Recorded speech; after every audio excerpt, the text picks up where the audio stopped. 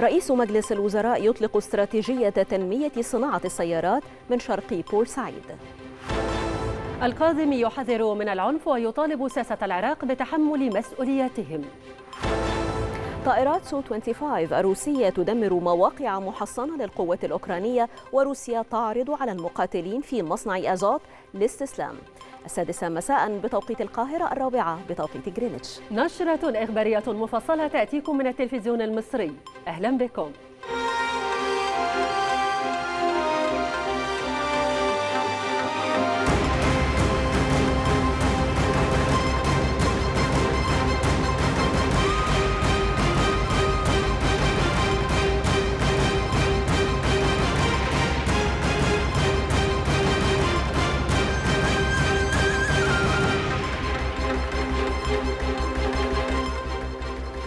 أطلق رئيس مجلس الوزراء مصطفى مدبولي استراتيجية تنمية صناعة السيارات وذلك خلال زيارته للمنطقة الصناعية بشرق بورسعيد التابعة للمنطقة الاقتصادية لقناة السويس. وفي كلمة له أوضح رئيس الوزراء أن الهدف الاستراتيجي هو أن يتم تعميق صناعة السيارات داخل مصر وكذا كل الصناعات المغذية لها. لابد أن يتم توطين صناعة حقيقية للسيارات في مصر. وهنا لما بنتكلم على صناعة حقيقية بالفعل في صناعات وفي مصانع بتعمل إنتاج ولكن مش هو ده طموحنا. ويمكن هنا رقم مهم جدا أنا يعني بستدعيه قدام حضراتكم لينا كلنا كمصريين. حجم استيرادنا من السيارات العام الماضي بالفعل وصل أو تجاوز الأربعة مليار دولار أمريكي. صرفنا من مواردنا الدولارية أربعة مليار دولار. عشان حجم السوق بتاعنا النهاردة لم يصل بعد إلى 300 ألف ولكن النهاردة التحدي الكبير فعلا إن في خلال عشر سنين متوقع مع النمو الاقتصادي اللي بيحصل إن عدد سيارات مصر هيتضاعف. يعني معنى كده هبقى محتاج على الأقل 8 مليار دولار سنويا عشان أدخل عربيات للسوق المحلي. طبعا ده لن يكون يعني مقبولا للدولة المصرية. وحول رؤية تطوير شرق بورسعيد أوضح رئيس مجلس الوزراء مصطفى مدبولي أنه لم يتم البدء في تنفيذ هذه الرؤية إلا خلال السنوات السبع الماضية بإرادة سياسية قوية ومتابعة يومية من قبل الرئيس السيسي. وأكد رئيس الوزراء أن الأعمال التي قام بتنفيذها رجال الهيئة الهندسية للقوات المسلحة بالمنطقة تعد من المعجزات الهندسية حيث تم إقامة العديد من المباني والمصانع والموانئ والأرصفة بالكيلومتر. الفترات لم تنفذ هذه الرؤية على أرض الواقع إلا في خلال السبع سنوات الماضية بإرادة سياسية قوية جدا من فخامة الرئيس ومتابعة شبه يومية وتنفيذ على أرض الواقع لأعمال بتعتبر من أعمال يعني المعجزات الهندسية من قبل رجال الهيئة الهندسية للقوات المسلحة. ده هو الحقيقة اللي حصلت عشان نقدر نبقى واقفين النهاردة على هذه الأرض لأن هذه الأرض اللي يعرفها كويس جدا كان مجرد إنك تمشي عليها بتلاقي نفسك بتغرز وبتنزل كشخص مش بتكلم على معدة فكون النهاردة إن إحنا نبقى قاعدين في مبنى بهذا الشكل بنتكلم على حجم مصانع وعلى مواني وعلى أرصفة بالكيلومترات بتتنفذ يعني أنا كرجل مهندس بقول هو إعجاز هندسي بكل المقاييس ومرة أخرى بوجه الشكر لرجال الهيئة الهندسية القوات المسلحة وكل القائمين على هذا المشروع من الشركات المقاولات المصرية اللي حققوا فعلا هذا الحلم. كما أشار رئيس الوزراء إلى أن الدولة المصرية منذ أن بدأت العمل على هذا الموضوع أطلقت بصورة مبدئية وسريعة. مبادرة إحلال المركبات لتعمل بالغاز الطبيعي وشارك فيها العديد من الشركات والمصانع التي تعمل بالفعل في مصر. أوضح رئيس الوزراء أن هدف المبادرة هو تنشيط سوق السيارات محلية الصنع حيث تم تقديم حوافز ووضع برنامج تمويل ميسر للمواطنين من أجل تشجيعهم على هذا الموضوع. الحقيقة الدولة المصرية من ساعة ما ابتدينا نشتغل على هذا الموضوع أطلقنا بصورة مبدئية وسريعة جدا مبادرة مهمة جدا وهي مبادرة إحلال المركبات اللي بتعمل بالغاز الطبيعي. ويمكن في مبادرة واتفقنا فيها مع الشركات والمصانع اللي بتعمل بالفعل في مصر وعملنا هذه المبادرة وبتاع كان هدفها طبعا تنشيط سوق السيارات المحلية الصنع وفيها طبعا حوافز الحقيقة قدمناها للشركات دي وإن يمكن حطينا برنامج تمويل ميسر للمواطنين علشان نشجعهم على هذا الموضوع. وأكد رئيس الوزراء أن ما يتم تنفيذه من شراكات مع القطاع الخاص بمنطقة شرق بورسعيد هو نموذج لسعي الدولة لتعزيز الشراكة مع القطاع الخاص بما يعكس فكرة لوثيقة ملكية الدولة. وشدد مدبولي على أن ما يتم تنفيذه من بنية تحتية لم تكن لتنفذه أي من الشركات الخاصة بالقطاع الخاص وفقا لقدرتها. إحنا كنا موجودين وإحنا بنطلق وثيقة سياسة ملكية الدولة أكدنا على أن هدفنا ويعني رؤيتنا كدولة في الفترة القادمة هو تعزيز الشراكة مع القطاع الخاص.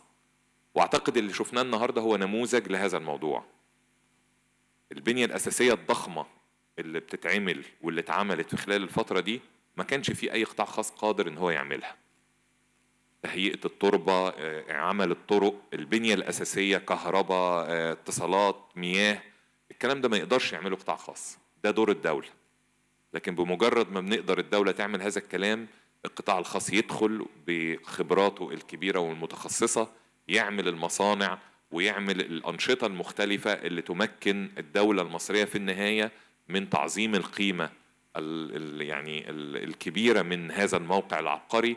ونقدر في إطار هذه النوعية من الشراكة ما بين الدولة والقطاع الخاص نحقق عملية التنمية المتكاملة في كل ربوع مصر إن شاء الله. وعقب إطلاق الاستراتيجية القومية لتنمية صناعة السيارات من شرق بورسعيد اليوم شهد رئيس مجلس الوزراء الدكتور مصطفى مدبولي توقيع مذكرة تفاهم رباعية لإنشاء مجمع تصنيع السيارات المشترك في شرق بورسعيد بالمنطقة الاقتصادية لقناة السويس بقدرة استيعابية لتصنيع 75 ألف مركبة سنويا كمرحلة أولى. شملت أطراف الاتفاقية.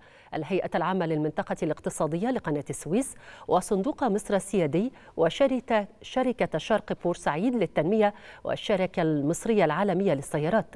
كذلك شهد مدبولي توقيع مذكرة تفاهم بين القطاعين الحكومي والخاص وشركات استشارات عالمية لتوطين صناعة السيارات في مصر.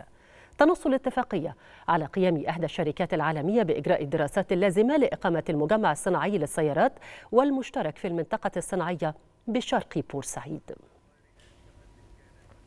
كان رئيس مجلس الوزراء مصطفى مدبولي قد استهل زيارته إلى شرق بورسعيد بتفقد المنطقة الصناعية بشرق بورسعيد التابعة للمنطقة الاقتصادية لقناة السويس. وقد بدأ مدبولي هذه الجولة بزيارة ميناء شرق بورسعيد حيث تفقد الأرصفة الغربية بالميناء لمتابعة آخر مستجدات أعمال التطوير الجارية بها. وأكد رئيس الوزراء أن المنطقة الاقتصادية لقناة السويس تحد تعد أحد أذرع الدولة لتحقيق التنمية من خلال ما تتمتع به من إمكانات ومزايا تنافسية في مقدمتها مناطقها الصناعية والموانئ التابعة لها.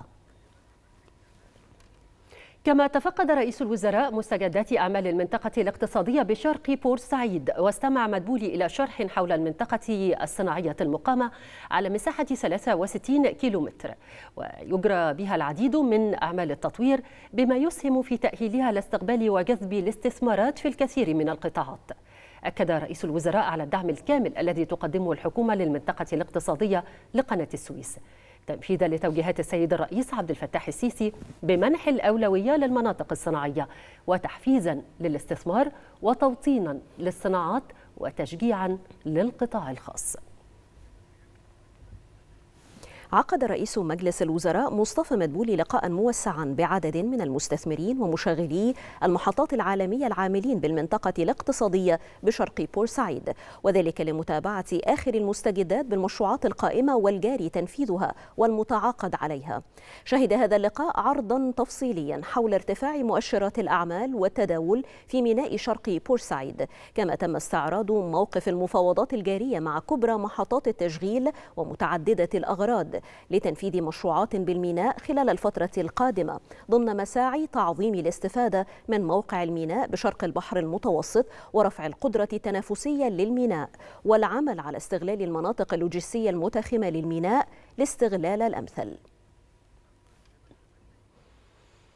كما ترأس رئيس مجلس الوزراء الدكتور مصطفى مدبولي اجتماع مجلس إدارة الهيئة العامة الاقتصادية لقناة السويس والذي عقد بشرق بورسعيد بالمنطقة الصناعية لأول مرة منذ قرار إنشاء الهيئة. ووجه رئيس الوزراء خلال الاجتماع باستمرار العمل على تعظيم الإيرادات الخاصة بالهيئة العامة للمنطقة الاقتصادية وفق خطة طموحة لتحقيق هذا الهدف. تقوم على تعظيم الاستفادة من إمكاناتها ومقومات إقامة الأنشطة الاقتصادية المتنوعة. كما وجه رئيس الوزراء بعرض تقرير شهري يتضمن معدلات الأراضي التي تم الترويج والتسويق لها في المنطقة الصناعية بشرق بورسعيد والتي تقوم بتطويرها شركة شرق بورسعيد للتنمية.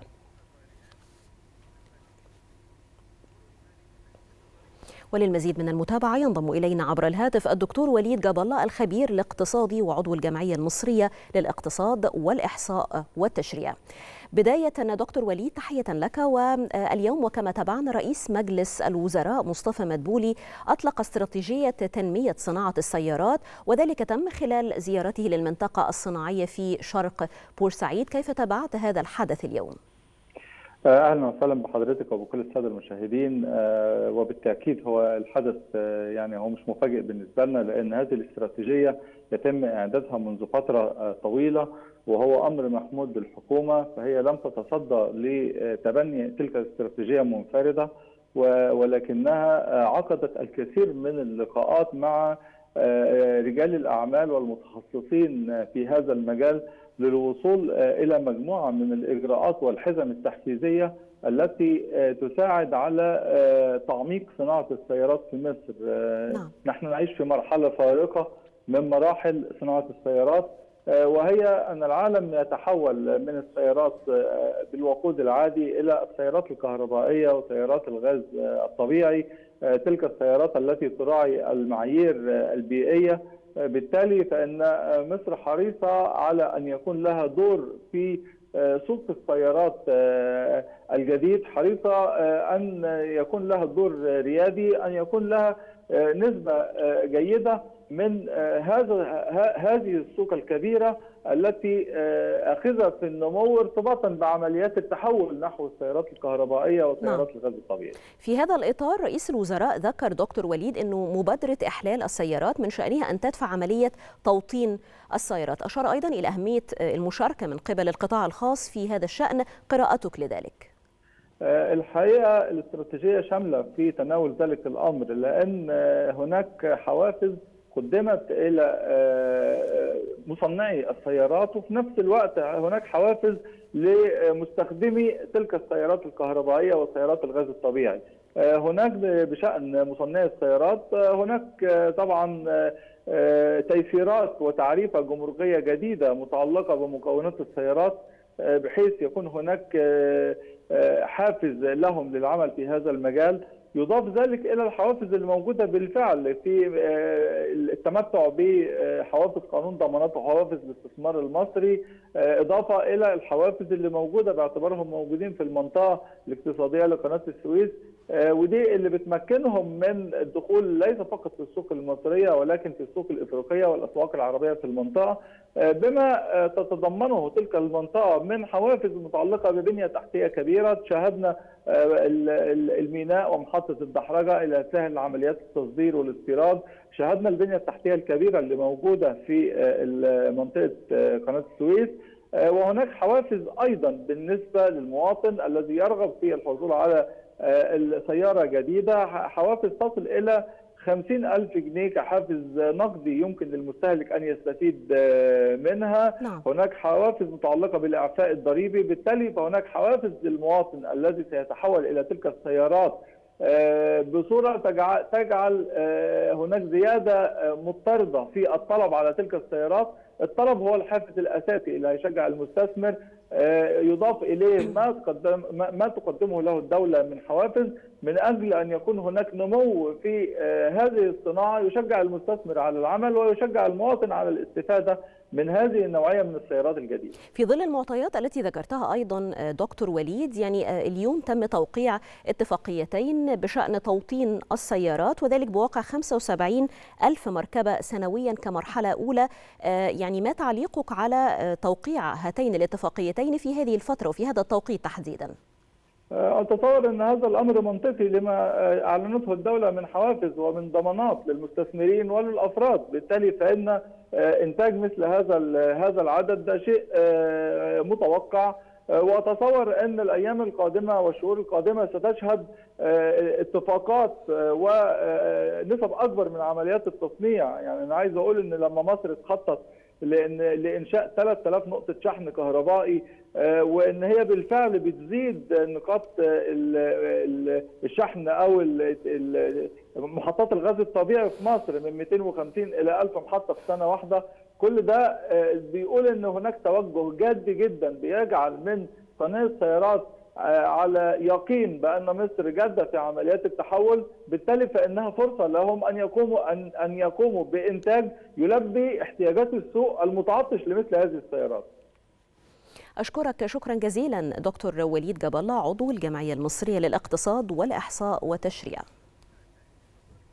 واصلت وزارة الداخلية حملاتها اليومية لمتابعة أسعار السلع الاستراتيجية وضبط قضايا حجب السلع والبيع بأسعار أزيد من السعر الرسمي. وتمكنت الوزارة خلال 24 ساعة من ضبط 414 قضية تموينية بمضبوطات بلغت أكثر من 110.5 طن. مواد غذائية وغير غذائية.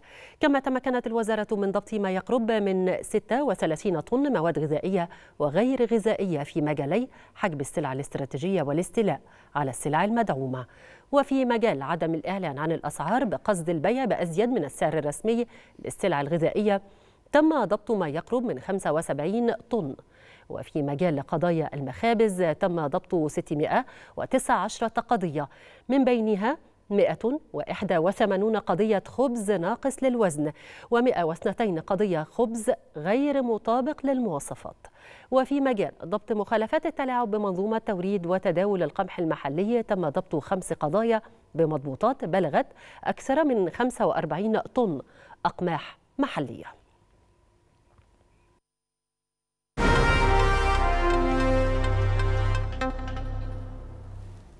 أعلن الديوان الملكي السعودي أن الرئيس الأمريكي جو بايدن سيزور المملكة خلال الشهر القادم وذلك بدعوة من الملك سلمان بن عبد العزيز.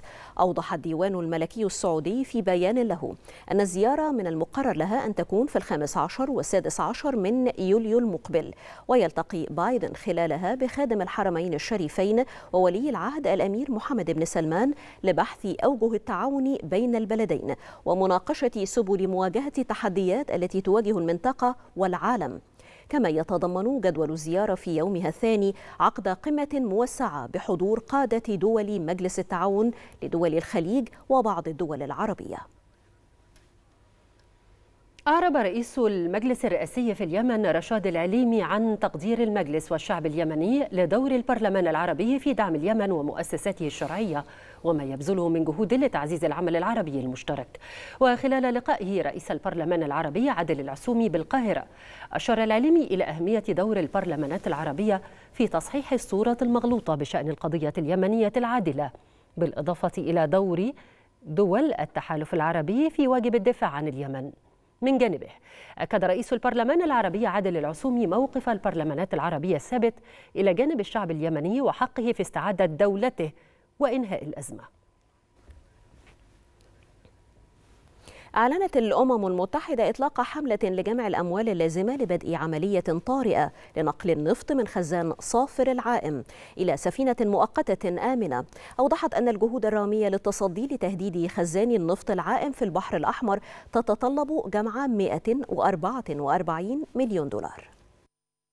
تقطعت السبل بالناقلة صافر الراسية قبالة ميناء رأس عيسى باليمن والتي تحتاج إلى صيانة منذ عام 2015 الأمر الذي يزيد من خطر تصدعها وانهيارها. وفي محاولة منها لمنع تلك الكارثة المحدقة دعا ديفيد جريسلي منسق الأمم المتحدة للشؤون الإنسانية في اليمن إلى مساعدة المجتمع الدولي في إنجاز مهمة الحصول على أول 80 مليون دولار لإتمام الأمر والتحرك الآن قبل فوات الأوان. وفي شهر مايو من هذا العام تمكن مؤتمر نظمته الأمم المتحدة لحشد التبرعات من جمع نحو نصف المبلغ المنشود لتمويل المرحلة الأولى للخطة التي تهدف إلى نقل النفط من السفينة التي نخرها الصدأ إلى ناقلة نفط أخرى كإجراء مؤقت. وصافر هي ناقلة نفط مهترئة تحمل مليونا ومائة ألف برميل من النفط أي أكثر من 140 ألف طن وترسو على مسافة ستة أميال من الساحل اليمني وقد يسبب انفجار أو تسرب منها واحدة من أخطر كوارث التسربات النفطية في التاريخ وتحتوي صافر على أربع مرات كمية النفط التي تسربت خلال كارثة إكسون في عام 1989 وهي واحدة من أسوأ الكوارث البيئية في العالم وفقا للأمم المتحدة.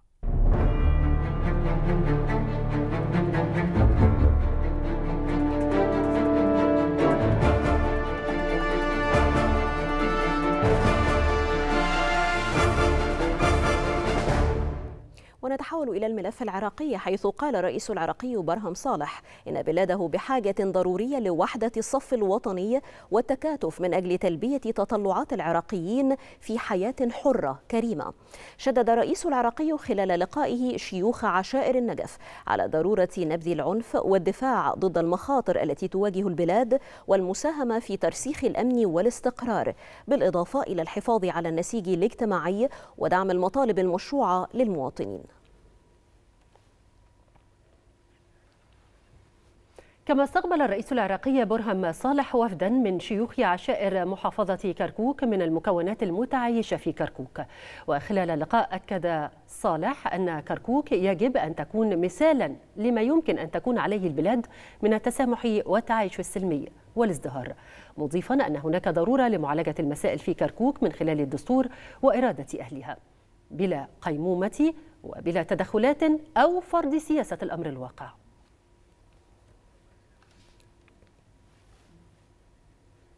من جهته دعا رئيس الوزراء العراقي مصطفى الكاظمي القوى السياسية إلى تحمل مسؤوليتها تجاه الشعب والوطن فيما أشار إلى حاجة الحكومة للموازنة.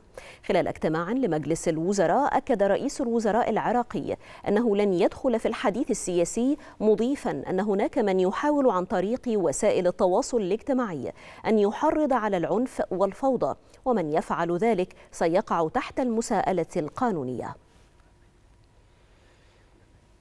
ميدانيا أعلنت قيادة العمليات المشتركة بالعراق مقتل ثمانية إرهابيين جنوب غرب صلاح الدين. وأضافت القيادة بأن نجاح العملية جاء بعد عملية نوعية أشرفت عليها قيادة العمليات المشتركة. حيث تم تزويد طيران القوة الجوية وطيران الجيش بمعلومات غاية في الدقة عن تواجد ثمانية قيادات إرهابية إجرامية في وكر داخل وادي الثرثار غرب محافظة صلاح الدين. بعد متابعة حسيسة دامت لساعات وتمكنت القوات الأمنية من محاصرة هؤلاء الإرهابيين وتطويق مكانهم والاشتباك معهم. الأمر الذي مكن الطيارين من استهداف هؤلاء الإرهابيين بثلاث ضربات جوية.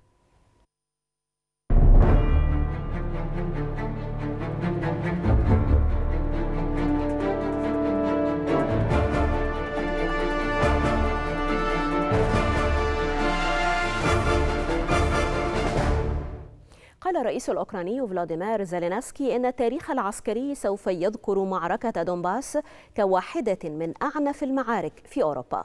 وأضاف زيلينسكي في كلمة عبر الفيديو كونفرنس بأن التكلفة البشرية للمعركة في سيفيرودونسك مرتفعة للغاية بالنسبة لبلاده مشددا على حاجة أوكرانيا الملحة للحصول على أسلحة. كما أعرب الرئيس الأوكراني عن ثقته في قدرة الجيش الأوكراني على تحرير الأراضي. І тих, кого зібрали за рахунок прихованої мобілізації. من جهة أخرى أعلنت وزارة الدفاع الروسية أن العمليات العسكرية في أوكرانيا أسفرت عن مقتل أكثر من 350 من القوات الأوكرانية خلال 24 ساعة ماضية. قال المتحدث باسم وزارة الدفاع الروسية إيغور كوناشينكوف إن الجيش الروسي قد تمكن من تدمير ترسانة لسلاح المدفعية الأوكرانية وذخائر باستهدافها وذلك بصواريخ كاليبر بعيدة المدى. وأضاف أيضا أن الدفاعات الجوية الروسية قد أسقطت طائرة أوكرانية من طراز ميج 29 في دونيتسك وطائرة هليكوبتر من طراز مي 24 في مقاطعة نيكولايف وتسع طائرات مسيرة في مناطق مختلفة.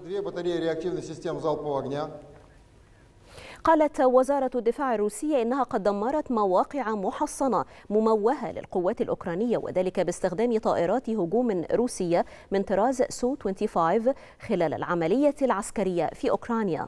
وأشارت مصادر مطلعة في مجال الصناعة العسكرية الروسية إلى أن الخبراء في البلاد باشروا في تصنيع سفن وغواصات قتالية جديدة لصالح الجيش مضيفة أن المنشآت التابعة للإمرالية الروسية لبناء السفن قامت بتصنيع غواصتين جديدتين تعملان بالديزل والكهرباء وستكون الغواصتان رقم أربعة وخمسة من هذا النوع اللتين يتم تطويرهما لصالح الجيش الروسي.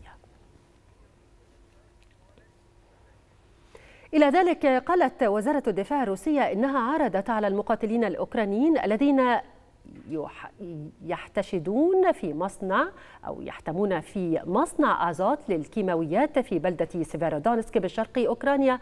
فرصة للاستسلام غدا الأربعاء. أضافت وزارة الدفاع الروسية أنها ستفتح ممرا إنسانيا غدا الأربعاء وذلك للسماح للمدنيين بالمغادرة. وحثت المقاتلين الأوكرانيين على وقف مقاومتهم وإلقاء أسلحتهم في الوقت نفسه.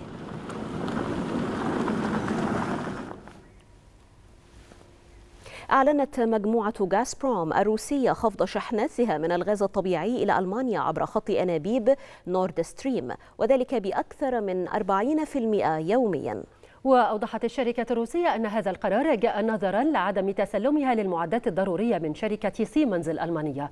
وقالت المجموعة الروسية في بيان إنها سترسل شحنات الغاز بواسطة خط أنابيب نورد ستريم إلى بما تصل كميته إلى 100 مليون متر مكعب يوميا وذلك بدلا من 167 مليون متر مكعب كما كان مخططا.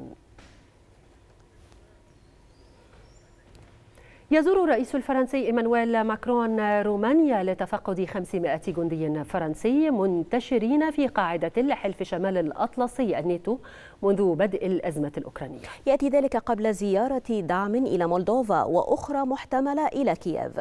تعد هذه الجولة هي الأولى لماكرون في جنوب شرق أوروبا المتضررة مباشرة من العملية العسكرية الروسية بأوكرانيا. هذا وقد قالت المتحدثة باسم الحكومة الفرنسية. إن الزيارة المحتملة للرئيس إيمانويل ماكرون إلى العاصمة الأوكرانية كييف. هي واحدة من عدة خيارات مطروحة على الطاولة في الوقت الراهن على الرغم من عدم اتخاذ قرار بشأن هذا الأمر حتى الآن.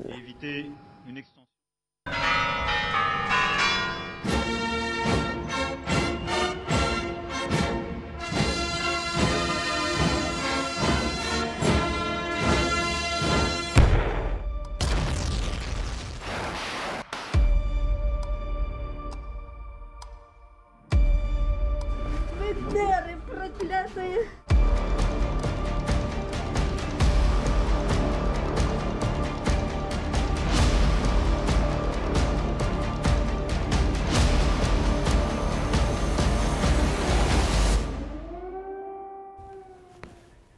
دعا قادة الأمم المتحدة الدول الأعضاء في منظمة التجارة العالمية إلى عدم فرض قيود على صادرات المواد الغذائية لتفادي مخاطر أزمة غذائية عالمية قد تتسبب بها الأزمة الأوكرانية. وأكدت مديرات منظمة التجارة العالمية أنها دعت في نهاية مايو إلى الحد من القيود المفروضة على الصادرات.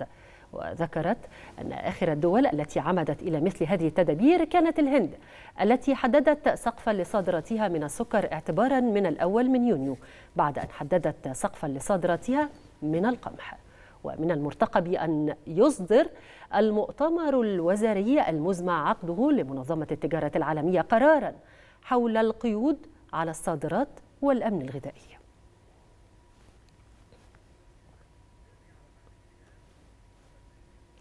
وافقت المفوضية الأوروبية على خطة فنلندية بقيمة 500 مليون يورو لدعم الشركات المتضررة من تداعيات العملية العسكرية الروسية في أوكرانيا.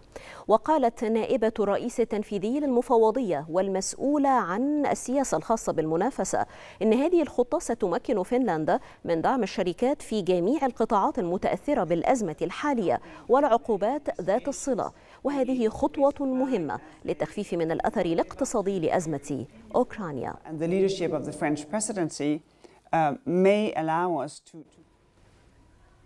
حذر وزير المالية الألماني كريستيان ليندرز من وجود خطر لفترة نتيجة للتضخم المرتفع والنمو المنخفض في أعقاب العملية العسكرية الروسية في أوكرانيا والتي دفعت التضخم المرتفع بالفعل إلى مستويات أعلى.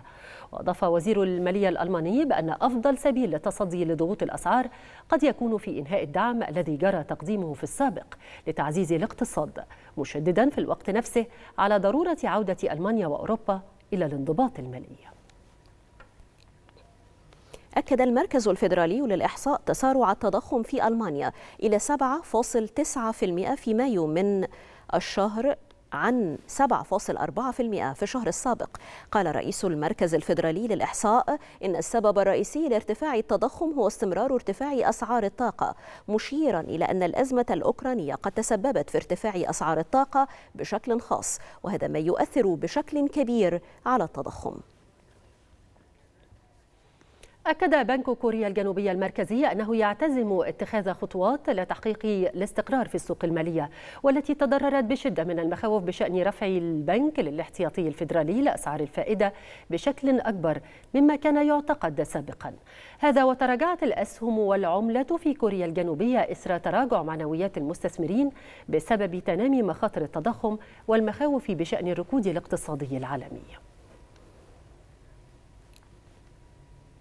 انضمت شركات البتروكيم البتروكيماويات الكورية الجنوبية إلى شركات صناعة السيارات والصلب في خفض إنتاجها وذلك بسبب إضراب سائقي الشاحنات. يحتج اتحاد سائقي الشاحنات على ارتفاع أسعار الوقود ويطالب بضمانات لحد أدنى من الأجور حيث قد أخفقت أربع جولات من المفاوضات مع الحكومة في التوصل إلى حل لهذه الأزمة. مع دخول إضراب سائق الشاحنات يومه السابع انضمت شركات البتروكيماويات في كوريا الجنوبية إلى شركات صناعة السيارات والصلب في خفض عملياتها بسبب تزايد المخزونات. اتحاد الصناعة الذي يمثل 32 شركة للبتروكيماويات في كوريا الجنوبية قال إن متوسط الشحنات اليومية من الشركات الأعضاء انخفض بنسبة 90% بسبب الإضراب. كما قالت وزارة الصناعة إن الصناعات في كوريا الجنوبية تواجه خسائر متراكمة تقدر بنحو 1.6 من عشرة تريليون وون أي ما يوازي 1.24 من 100 مليار دولار خلال مدة الإضراب. من جانبه ذكر ميناء بوسان سابع أكبر ميناء للحاويات في العالم أن الإضراب قلص حركة الحاويات بمقدار الثلثين عن المستويات العادية فيما أكد مسؤول حكومي أن مواقع تخزين الحاويات تمتلئ وأن السلطات تناقش إجراءات لتوفير مزيد من المواقع. ويحتج اتحاد سائق الشاحنات الذي يضم 22 ألف شخص على ارتفاع أسعار الوقود ويطالب بضمانات لحد أدنى من الأجور حيث أخفقت أربع جولات من المفاوضات مع الحكومة في التوصل إلى حل وسط. ويمكن أن يؤدي أي تباطؤ في إنتاج وشحن الرقائق والبتروكيماويات والسيارات إلى زيادة المخاوف من ارتفاع التضخم وتباطؤ النمو مع مواجهة العالم القيود الصارمة التي تفرضها الصين لمواجهة جائحة كورونا وتداعيات الأزمة الروسية الأوكرانية. هوت الأسهم الأوروبية إلى أدنى مستوياتها في ثلاثة أشهر إذ أثارت قفزة في التضخم في الولايات المتحدة مخاوف حيال زيادات قوية لأسعار الفائدة من مجلس الاحتياطي الاتحادي حالة من الذعر شهدتها أسواق المال العالمية من احتمالية رفع مجلس الاحتياطي الفيدرالي الأمريكي لأسعار الفائدة بمقدار 75 نقطة أساس. وأكد عدد من الاقتصاديين أن الفيدرالي سيلتزم بمخطط رفع الفائدة بمقدار 50 نقطة أساس خلال هذا الأسبوع لكنهم سيتيحون إمكانية رفع الفائدة بدرجة أكبر في الاجتماعات اللاحقة. وأوضح الاقتصاديون في تقرير نشرته مؤسسة MarketWatch المعنية بالشأن الاقتصادي العالمي أن قراءة مؤشر أسعار المستهلك لشهر مايو الماضي كانت بمثابة تغير حاد في توجهات أعضاء مجلس الاحتياطي الفيدرالي وخاصة بعد أن أكد جيروم باول محافظ الاحتياطي الفيدرالي بأنه سيتخذ موقفا أكثر تشددا. هذا وهوت الأسهم الأوروبية إلى أدنى مستوياتها في ثلاثة أشهر حيث أثارت قفزة في التضخم في الولايات المتحدة مخاوف حيال زيادة قوية لأسعار الفائدة من مجلس الاحتياطي الاتحادي. وأنهى المؤشر ستوكس 600 الأوروبي جلسة التداول منخفضا 2.4% إلى أدنى مستوى له منذ السابع من مارس فيما هبطت أسهم شركات التكنولوجيا الكبرى بنسبة 4.2% مع ارتفاع عوائد السندات الحكومية إلى أعلى مستوياتها في عدة أعوام بفعل رهانات على تجديد أسرع للسياسة النقدية. وتراجعت أيضا أسهم القطاعات المرتبطة بالنمو مثل السفر والترفيه ومصنعي السيارات اللذين تراجعا بنسبة 5.3% و4.5% على الترتيب. وتحولت المعنويات إلى سلبية في أعقاب موجة بيع حادة في بورصة وول ستريت بعد بيانات أظهرت أن أسعار المستهلكين في الولايات المتحدة قفزت 8.6% على أساس سنوي في مايو مسجلة أكبر زيادة منذ عام 1981 مما يثير مخاوف حيال زيادة أكبر للفائدة. قدرها 75 نقطة أساس في اجتماع البنك المركزي الأمريكي هذا الأسبوع. نشرتنا تتواصل معكم على شاشة التلفزيون المصري وتتابعون فيها. هيئة الغذاء والدواء الأمريكية تصوت على فعالية لقاح موديرنا للأطفال الأكبر سناً.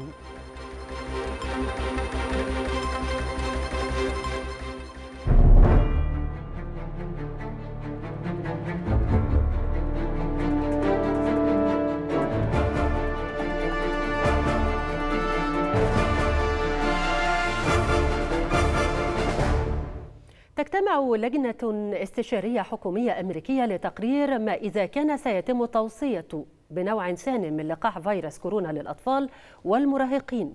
في سن المدرسة. سيصوت الخبراء في هيئة الغذاء والدواء الأمريكية على ما إذا كان لقاح موديرنا آمنا وفعالا بما يكفي لمنح الأطفال الذين تتراوح أعمارهم بين السادسة وسبعة عشر عاما. وإذا وافقت هيئة الغذاء والدواء فسيصبح لقاح موديرنا هو الخيار الثاني لهؤلاء الأطفال للانضمام إلى لقاح فايزر.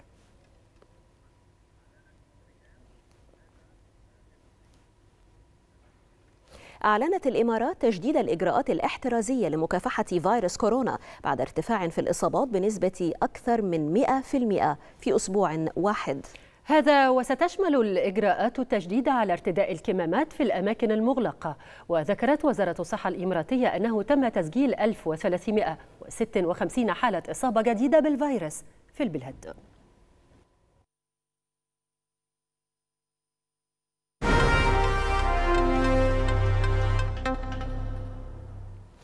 أعلن الرئيس الأمريكي جو بايدن عن رغبته في بناء البنى التحتية وذلك بهدف إعادة الطبقة الوسطى إذا ما كانت عليه وحماية العمال.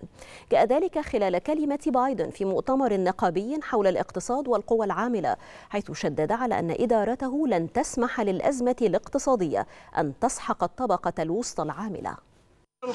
نحن نريد أن نعيد بناء البنى التحتية والهدف هو إعادة الطبقة الوسطى إلى ما كانت عليه وحماية العمال.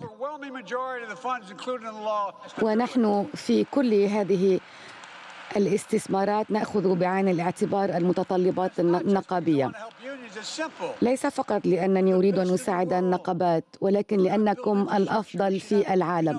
إن أردنا أن نبني البنى التحتية علينا أن نعتمد عليكم. لن أطيل عليكم. ولكن عندما نختار عملا نحتاج إلى أربع أو خمس سنوات لنتعلم المهنة.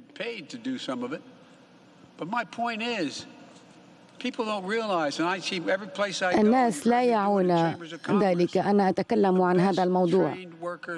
أنتم أفضل العمال تدريبا في العالم.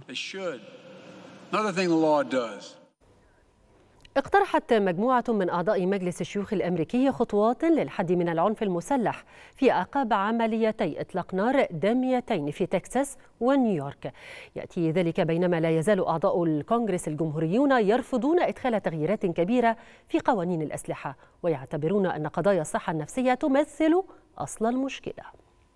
بعد مظاهرات حاشدة في عدة ولايات أمريكية اتفق أعضاء من الحزبين في مجلس الشيوخ الأمريكي على وضع حد للعنف المسلح الذي تشهده البلاد. عشرون عضوا في مجلس الشيوخ الأمريكي من الحزبين أعلنوا توصلهم إلى اتفاق حول عدة أحكام لتعزيز تنظيم استخدام الأسلحة النارية وهي إجراءات محدودة جاءت نتيجة ضغوط بعد حوادث القتل الأخيرة التي خلفت صدمة في البلاد. تتضمن الإجراءات التي يتطلب إقرارها أغلبية ساحقة في مجلس الشيوخ تشجيع الولايات على سحب الأسلحة من الأشخاص الذين يعتبرون خطيرين وتدابير بشأن تأمين المدارس. عمليات إطلاق النار التي شهدتها الولايات المتحدة مؤخرا أرجعها بعض الخبراء إلى وجود خلل في الصحة النفسية للمراهقين. لذا تضمنت الإجراءات التي تم التوصل إليها من جانب بعض أعضاء مجلس الشيوخ زيادة خطة من الموارد الضرورية المخصصة للصحة النفسية وتحسن أمن المدارس وتدابير تدعيم الطلاب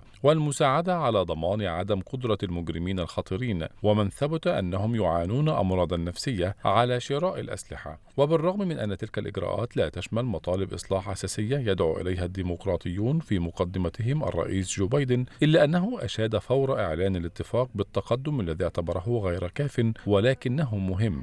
وسيكون أهم تشريع بشأن التحكم في الأسلحة يقره الكونغرس الأمريكي منذ عقود. أحداث دامية شهدتها الولايات المتحدة جراء إطلاق النار مؤخرا كان آخرها في مدرسة ابتدائية بالتكساس أسفر عن مقتل 21 شخصا وفي متجر بولاية نيويورك خلف عشرة قتلى. أجبر الديمقراطيين والجمهوريين على ضرورة اتخاذ خطوات جادة للتصدي لعنف الأسلحة النارية ووقف سيل الدماء المستمر.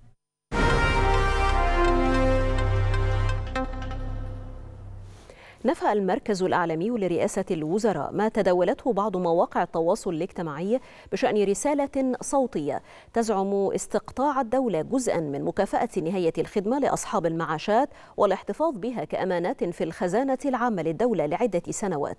أكد المركز الإعلامي لمجلس الوزراء أنه لا صحة لاستقطاع أي جزء من مكافأة نهاية الخدمة لأصحاب المعاشات أو الاحتفاظ بها كأمانات في الخزانة العامة للدولة لعدة سنوات. وأن ما تم تداوله بالرسالة الصوتية غير صحيح ولا يمت للواقع بأي صلة. مشددا على التزام الدولة بصرف مكافأة نهاية الخدمة لأصحاب المعاشات كاملة دون استقطاع أي جزء منها وكذلك صرف كافة الاستحقاقات والامتيازات التأمينية المقررة لأصحاب المعاشات والمستحقين عنهم دون أي انتقاص. استقبل وادي الفروسية والذي طورته وزارة الداخلية مؤخرا نهائيات بطولة الجمهورية للفروسية في ظل إشادة واسعة من المشاركين بالإمكانات الكبيرة التي يتمتع بها الوادي وبإسهامته في تطوير رياضة الفروسية في مصر. وبالدور الكبير الذي تلعبه وزارة الداخلية في الارتقاء بالرياضة الفروسية والذي تتجلى في دقة التنظيم وتطوير الملاعب والمرافق الموجودة بالوادي.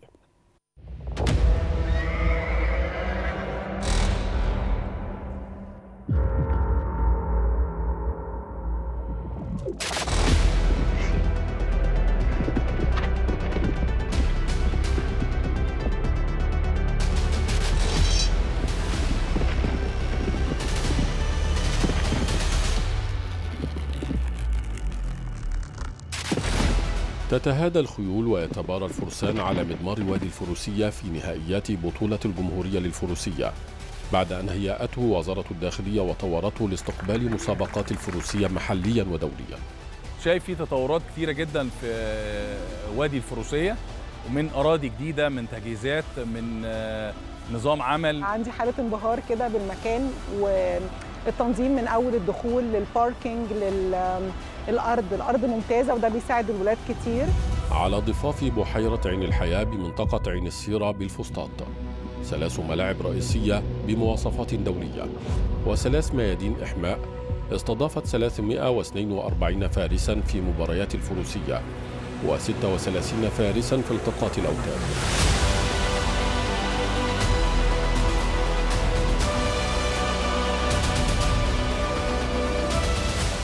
النادي عامة مجهز بمستوى عالي جدا فبيبقى مريح لكل الألعاب يعني سواء التقاط الأوتاد أو الفروسية القفز أو الدراساج.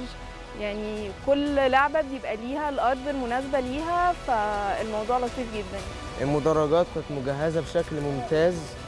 في الحقيقة كانت مقرباك من الأرض كفاية مخليك تحس بجو الأرض تحس بإحساس الحس اللعيب كده إحساسك اللي أنت فعلا أنت اللي بتلعب مش اللعيب كافة السبل التي تساعد على توفير أجواء تنافسية ذات مقاييس عالمية تتوفر هنا. فندق مجهز لإقامة اللاعبين. وسيارات إسعاف بتجهيزاتها من الأطقم الطبية. وسيارات كهربائية لتنقل الجماهير بين جنبات الوادي. فضلا عن مطاعم وكافيتريات ساعة ما دخلنا من البوابة في ناس بيدخلونا من بره بيجهزونا للبطولة. و... والأوتيل اللي موجود هنا حلو جدا آه، متنظم جدا وفكرة حلوة جدا إن هم يعملوا ملعب جنب الأوتيل عشان البطولة بتبقى 3 أربع أيام للنهائي. الكلام ده كله بيساعدنا إن إحنا نأدي أداء أحسن في البطولة ونعمل أحسن حاجة عندنا. وتم توفير اسطبلات ذات سعة كبيرة لإيواء الخيول. مع توفير خدمة بيطرية ملائمة لها وهو ما يساعد على إراحة الخيول المشاركة بعيدا عن عناء التنقل. بدون نقاط جزاء 45 69 غرفة الحكام صممت بطريقة تساعد على رؤية زوايا أفضل لكافة الملاعب وهو ما يساعد الحكام على أداء تحكيمي أفضل في كافة البطولات. إحنا بنفخر إن عندنا مكان زي ده في مصر. يعني مكان متكامل من كل حاجة سواء أراضي أو منصات تحكيم. وإحنا بنشكرهم جدا على الميادين اللي ادوها لنا وعلى الاسطبلات وعلى الأماكن الممتعة اللي هي فخر لرياضة الفروسية في مصر. المكان ده فعلا شرف لمصر والمصريين بجد وللفروسية كلها. المكان آه إحنا بقينا بنفتخر إن إحنا موجودين هنا. فخور بالدعم اللي مقدمه وزارة الداخلية. دي حاجة جميلة جدا لرياضة الفروسية. وعرفت دلوقتي كمان إن هيكون في دعم لرياضات تانية في الخيل. ودي حاجة يعني هتضيف كتير قوي للحصان العربي والحصان المصري بشكل عام. وزارة الداخلية طورت وادي الفروسية ليستقبل المنافسات ليلا من خلال منظومة إضاءة متطورة زودت بها الملاعب. ختام فعاليات المنافسات التي تواصلت على مدار أيام. كانت مراسم تتويج الفائزين في مختلف منافسات البطولة. وبحضور وزير الشباب والرياضة. حيث تم توزيع الجوائز عليهم ليكون ختاما ناجحا لبطولة الجمهورية للفروسية لهذا الموسم على أرض وادي الفروسية.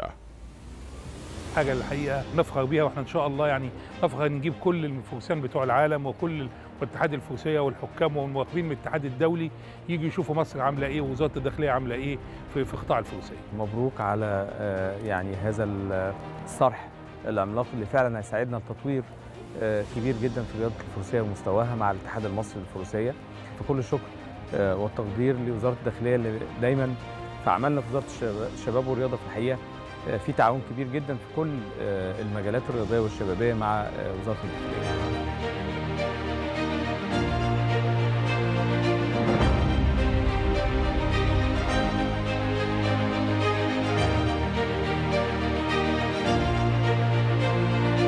قيام وزارة الداخلية بتطوير وادي الفروسية منشآت وملاعب ومرافق. ساهم في أن يكون الوادي ملتقى لمنافسات الفروسية محليا ودوليا وهو ما تسعى إليه وزارة الداخلية الارتقاء برياضة الفروسية في مصر. عبد الله بركات التلفزيون المصري.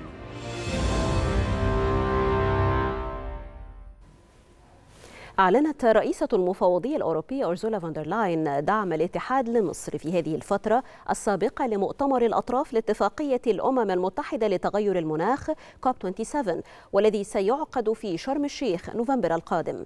خلال تصريحات صحفية قالت رئيسة المفوضية الأوروبية قبيل زيارتها لمصر إن استضافة مصر لمؤتمر كوب 27 تشكل فرصة كبرى ليرى العالم قيادة مصر وأن تقدم مصر نموذجا يحتذى به مضيفا أنها تتطلع إلى التوسع في الشراكة بين الاتحاد الأوروبي ومصر. وسيساعد مؤتمر المناخ الذي سينعقد في شرم الشيخ على ذلك. تنطلق غدا الأربعاء أعمال المؤتمر العالمي الثامن للبرلمانيين الشباب والذي يعقد في مدينة شرم الشيخ في الفترة من الخامس عشر وإلى السادس عشر من يونيو الجاري. ويشهد المؤتمر مشاركة مكثفة من وفود برلمانية من أكثر من ستين دولة فضلا عن وفود المنظمات الدولية المراقبة. يتناول المؤتمر قضية تغير المناخ من وجهة نظر برلمانية شبابية. وهو ما يمثل المرة الأولى التي تعقد فيها أو تعقد فيها دولة مؤتمرا برلمانيا منفصلا قبل أشهر من استضافتها لدورة مؤتمر الدول الأطراف في اتفاقية الأمم المتحدة الإطارية بشأن التغيرات المناخية.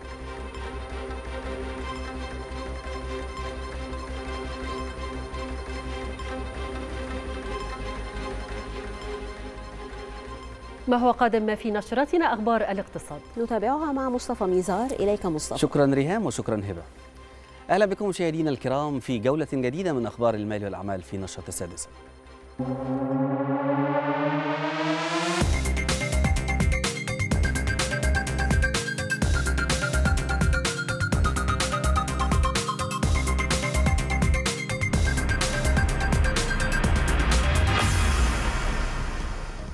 عقد وزير البترول والثروة المعدنية طارق الملا اجتماعا مع مستشار الرئيس الفلسطيني للشؤون الاقتصادية ورئيس مجلس إدارة الصندوق الفلسطيني محمد مصطفى وتناول خلاله عددا من الموضوعات الخاصة بالتعاون المشترك في مجالات صناعة البترول والغاز الطبيعي وأنشطة منتدى غاز شرق المتوسط.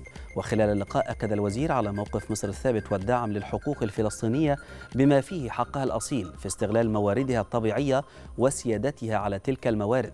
وفي مقدمة حقل غزة مارين. كما أكد وزير البترول أن مصر لا تتوانى عن دعم كل ما يمكنه المساهمة في تنمية اقتصاد فلسطين وأن البلدين يتمتعان بعلاقات وطيدة تدعمها القيادة السياسية في البلدين وتعاونهما معا تحت مظلة منتدى غاز شرق المتوسط والتي تتبنى أهدافا عادلة تحقق مصالح جميع الدول الأعضاء بها. أكدت مصر على الدور المحوري للتجارة في الحد من التغيرات البيئية وتعزيز قدرات الدول على التحول الأخضر. وأشارت وزيرة التجارة والصناعة نيفين جامع إلى أهمية تعزيز العمل المشترك لوضع أطر حاكمة للعلاقة بين التجارة والمناخ بما يعكس إرادة سياسية حقيقية للتعاون والعمل الجماعي ونية جادة لتضمين أولويات وشواغل الدول النامية والأقل نموا بما يساعد على تحقيق أهداف العمل المناخي والتنمية المستدامة. جاء ذلك خلال مشاركة الوزير بفعاليات المؤتمر الوزاري الثاني عشر لمنظمة التجارة العالمية والمنعقد في مدينة جنيف حيث تضمن اليوم الثاني للمؤتمر تنظيم لقاء حول موضوعات تغير المناخ والتجارة والبيئة.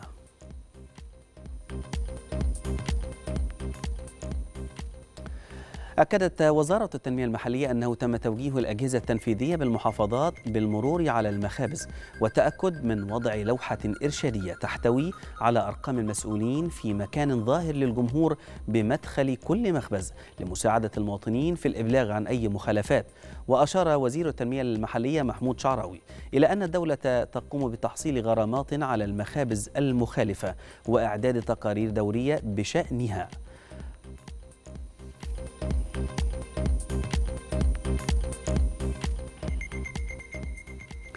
إلى البورصة المصرية حيث تباينت مؤشراتها بختام التعاملات اليوم حيث تراجع المؤشر الرئيسي بضغوط هبوط أسهم قيادية في حين ارتفع مؤشر EGX 70 و EGX 100 وتراجع رأس المال السوقي بنحو 1.3 مليار جنيه ليغلق عند مستوى 661.4 مليار جنيه.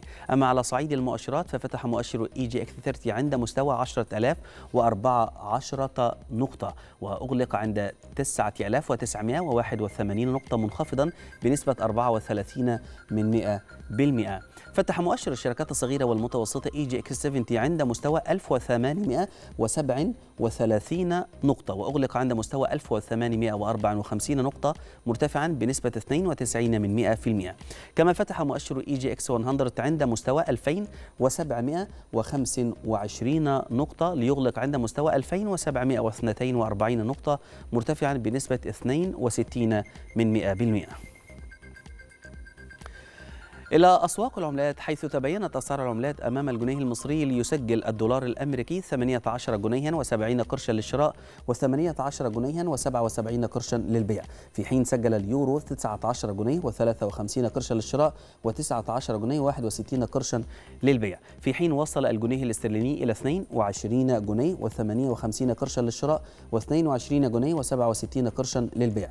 بالنسبة للعملات العربية مقابل الجنيه فقد وصلت قيمة الدرهم الدرهم الأمريكي إلى خمسة جنيهات وتسعة قروش للشراء وخمسة جنيهات وأحد عشر قرش للبيع. في حين وصل الريال السعودي إلى أربعة جنيهات وثمانية وتسعين قرشا للشراء وخمسة جنيهات بالنسبة للبيع.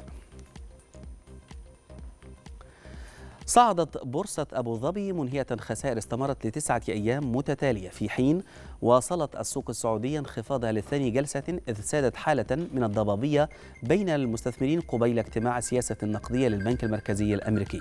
وارتفع مؤشر أبو ظبي 9 من 10% كما أنهى مؤشر دبي المعاملات مرتفعا من 10% في المقابل انخفض مؤشر البورصة السعودي 3 من 10% مع نزول سهم شركة النفط العملاقة أرامكو من 10%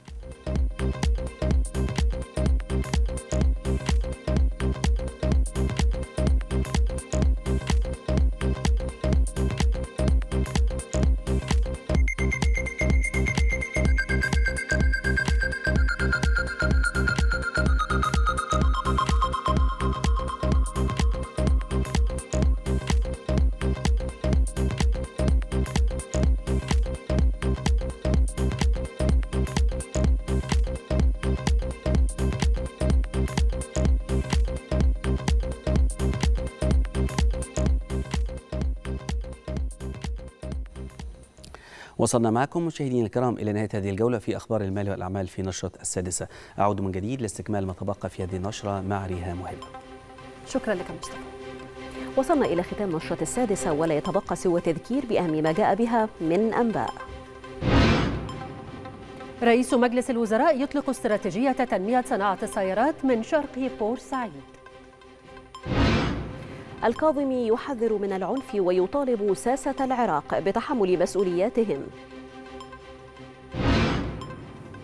طائرات سو 25 الروسية تدمر مواقع محصنة للقوات الأوكرانية وروسيا تعرض على المقاتلين في مصنع أزوت الاستسلام.